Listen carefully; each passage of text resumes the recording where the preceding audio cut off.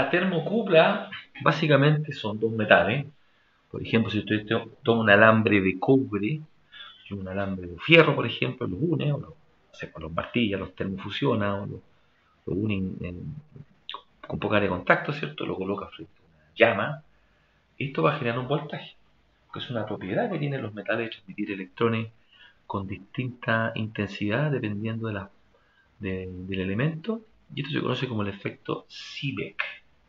Este principio se ocupa para medir temperatura. Ah, el modelo asociado a esto es un polinomio y hay distintos tipos de metales y distintas formas de configurar. Acá en ingeniería química nosotros tenemos una maquinita donde usted compra el rollo de alambre, eh, por ejemplo fierro constantán, que es más estándar, es una termocupla tipo K, puede estar enrollado, termofusionado, nosotros lo termofusionamos y nos sirve para generar eh, sensores de temperatura basados en voltaje.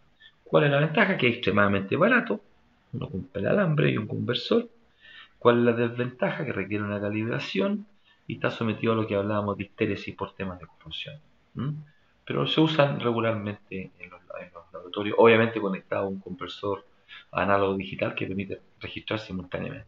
Acá tal vez pueden revisar la tesis de Javier Ibacache o Belén Reyes, química, no en ingeniería ambiental, Javier Ibacache y Belén Reyes, química, ambos trabajaron con termocuplas con un registro en línea para medir propiedad aislante con paneles. Interesante esa tesis, y que les pido que la revisen en un contexto de la instrumentación. Bueno, aquí les hablé que había distintas combinatorias de metales que se clasifican con esa letra.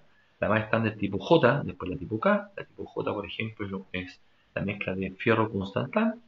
La tipo S, platino, eh, platino con 10% rodio. Y acá están las curvas. Fíjense bueno, ahí se ven más o menos rectas, en realidad no son así, son como polinomios, solamente esto lo ilustra, pero quiero que se queden en el rango. Fíjense que estos son para un gran rango de temperatura.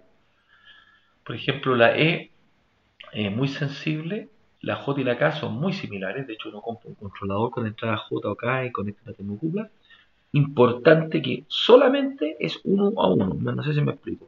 Termocupla tipo J va con un canal para termocupla termo J. J, no puedo mezclarlo. Entonces, esto es un poco restrictivo. Cada conversor está asociado al tipo de termocupla, porque tiene su curva de calibración, igual. ¿Ok? Em, fíjense, la tipo R y S llegamos a 1200 grados, perdón, 1500 grados. De hecho, en algún momento en la vida, esta termocupla tipo S la usamos en un horno fundición. Se lo compramos a la empresa Beto, una vaina cerámica. Bueno, se probó en el, estoy hablando de manto fundido 1200 grados. Entonces se midió y murió. Pues. Duró como 10, 15 minutos, hace 20, 25 años atrás, hicimos esta prueba en condición. Pero se pueden montar, son, son relativamente baratas, eh, ah, de amplio uso. El detalle que requiere su propio convertidor, lo cual no es muy bueno. Pero ahora hay convertidores que son específicos y pasan a 420 mA. Si usted ocupa termocupla, ponga un transmisor a 420 mA.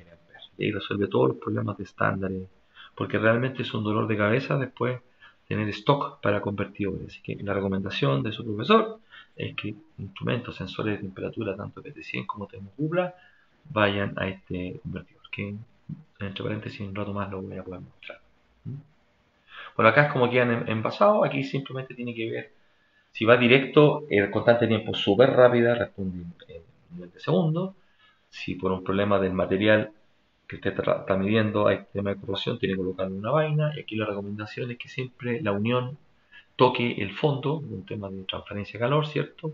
Resistencia en serie, un poco más rápido. Eh, esto, como le explicaba abajo, se ve un controlador. Ese controlador normalmente trae entrada universal tipo eh, JK, JK, con distintos canales. No viene para RS, así que hay que tener ojo con ese, con el display o el controlador. Más abajo vemos, o sea, más arriba vemos su alambre que justamente se conecta. Y aquí fíjense que sus cables vienen efectivamente con el metal fierro constantán, ¿cierto? Pero para poder unirlo a otro cable, una extensión, necesita un cable de compensación. Y acá empezamos con los problemas, porque cada termocupla requiere su propio cable de compensación. Si yo pusiera un cable común y corriente acá, la unión de ese cable de cobre, supónganse, por ejemplo, generaría otra termocupla y eso no distorsiona la señal. Por tanto, se tiene que usar cable de compensación. Y es lo que genera una, una, desventaja al respecto.